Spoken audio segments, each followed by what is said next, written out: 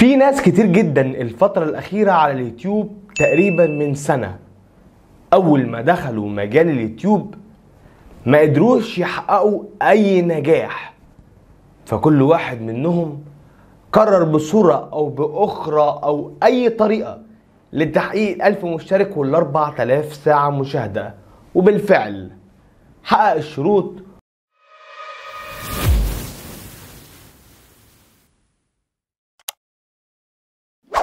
وبدأ يدخل في برنامج شركاء اليوتيوب. في انتظار أول يوم وأول صدمة من وجهة نظر الشخصية إن الشخص ده أصلا ما عملش لنفسه قاعدة جماهيرية يقدر يجيب من خلالها الأرباح. ولأن الأرباح بتيجي نتيجة مشاهدات من قبل المشاهد الحقيقي وظهور الإعلانات على المشاهدات فبالتالي بيكون في عائد مادي لمنشئ المحتوى على اليوتيوب. لكن لما بيجي أول يوم بعد تحقيق الشروط بطريقة ما أو بأخرى ويستنى بالفعل الأرباح بيتفاجئ إن الأرباح صفر وبرضو المشاهدات صفر وبرضو النفسية صفر وبرضو العقلية صفر وبرضو هو في اليوتيوب برضو صفر. حط صفار زي ما انت عايز كتر في الصفار. ليه؟ لأن ما حطش في باله إن النجاح على اليوتيوب هو قاعدة جماهيرية مش مجرد حصد أموال أو أرباح لأن الأرباح مش هتيجي إلا نتيجة وجود بالفعل متابع ومشاهد حقيقي ليك. في منهم بقى قال خلاص يا متوحد يا فكرة أنا ما لقيتش نفسي وما قدرتش أعمل القاعدة الجماهيرية ما قدرتش أجيب مشتركين حقيقيين ما قدرتش أجيب مشاهدين حقيقيين بس أنا عايز أرباح. ما أنا صرفت فلوس وأنا رايح أحقق ال1000 مشترك وال 4000 ساعة مشاهدة. فكده أنا دفعت طب أنا عايز اللي أنا دفعته. فهيبدأ يحلل لنفسه سواء باستخدام الفي بي ان أو راح لشخص قال له تعالى ده ال 100 دولار هرجعهم لك 300 دولار. إيه يا فوزي؟ عامل إيه أخبارك؟ تعالى. هات واحد صاحبك يجيب واحد صاحبه نحط الاثنين وانت تاخد فلوس وأنا اخد فلوس و... نفس التكاية نفس الحركاية ونفس عدم العقل وعدم الوعي من منشئ المحتوى اللي دايما في باله وتفكيره إن هو بس عايز يحصد 200 أو 300 دولار بدون أي مجهود. والشخص التاني مستغلك. أنت بتستغل والاستغلال ده بتكون أنت الوحيد الخاسر فيه. لأن حضرتك اللي بيتم اغلاق حساب Google AdSense ليك عايز تحقق ال 10 دولار بتروح له تحقق ال 10 دولار يقول لك ب 5 دولار ويبدأ يعمل لك VPN ويجيب لك بالفعل 10 دولار. وانت ولا حياة لمن تنادي عقليا فنيا معلوماتيا أي حاجة على اليوتيوب لأن كل هدفك الحصول على 10 دولار أو البين كود أو أو أو. طب ما انت قادر تفهم وقادر تتعلم. ما الأول زمان إحنا كنا ممكن نغفر لك لكن دلوقتي عندك المرجع الأول لمنشئ المحتوى على اليوتيوب. المتوحد فكرة اللي بيوضح لك كل حاجة بالتفصيل. تفصيل مفصلة. 1390 فيديو متواجد. لو حضرتك بس قعدت تسمع وتكتب والله العظيم أضمن لك النجاح. الشروحات اللي إحنا بنقولها في اليوتيوب والتوضيحات دي علشان انها انت تفهم. ما أنا جاي أقول لك الشركات دي نصابة. هيجي واحد يقول لك لا ما هو جاب لي ارباح في شهر وخدت 300 دولار. يا عم ما هي مرة.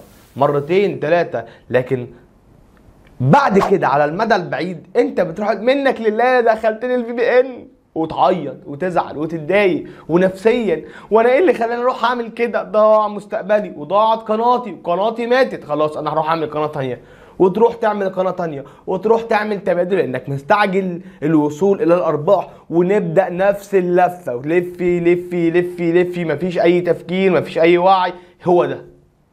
هو ده حياتنا على اليوتيوب. لكن لو داخل مجال اليوتيوب بقى عايز تنجح صح. أنا بقول لك إنك تتعلم. تمسك ورقة وقلم أهو اللي أنا لغاية دلوقتي بمسك ورقة وقلم وبكتب فيها كل حاجة بالتفصيل. قلتها لك مئة ألف مرة كل حاجة بالتفصيل. والله كل حاجة مكتوبة هنا بالتفصيل. أنا كمنشئ محتوى تعليمي لسه بتعلم وما عنديش أي مشكلة. إيه اللي يخلي حضرتك ما... الشركات دي نصابة؟ اللي بيجي يسرق منك أو يسرق ياخد فلوسك ويديك فلوس حرام حرام شرعا هتخرب بيتك. وهتشوف دخل الفلوس ده على ابنك هتشوف خراب البيت. دخل فلوس على بيتك هتطلقي هيحصل لك حاجة غلط بيتك هيتخرب هتصرفيها على أموال على مرض هتصرفيها على حاجة وحشة. متأكد إن فلوس الحرام ما بتصرفش غير حاجة وحشة. اسمع مني. والله ما بتصرف غير حاجة وحشة على مرض على تعب. آه، ده ده ده ده, ده تجارب أنا شفتها قدام عيني من ناس خدوا فلوس والفلوس دي ما كانتش حلال وأنا عارف صرفوها فين. فالفلوس الحلال والشغل الحلال والإنتاجية الحلال والرزق الحلال هو أفضل طريقة للنجاح على اليوتيوب. لو انت مفكر الشركات النصابة دي بتديك فلوس حلال فانت بتهزر.